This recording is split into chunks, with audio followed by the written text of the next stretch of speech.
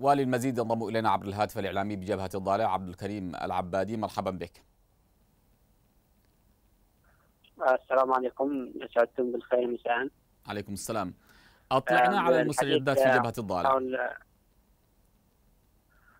آه، شهدت جبهة الفاخر وجبهة حبيب العبدي اشتباكات متقطعة بين القوات الجنوبية المشتركة من جهة والميليشيات الحوثية من جهة أخرى عقب محاولة فاشلة قامت ميليشيات الحوثية محاولة التسلل باتجاه مدينة الفاخر ومنطقة مرخزة.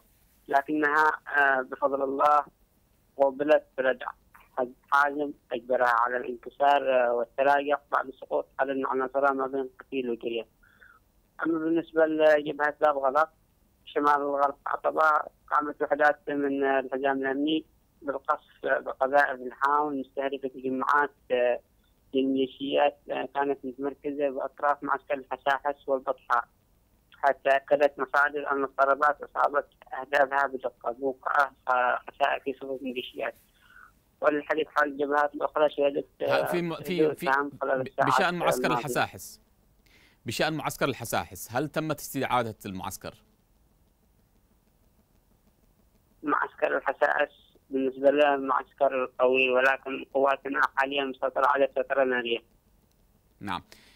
يلاحظ أن التقدم في جبهات في, في الجبهات محدود. لماذا؟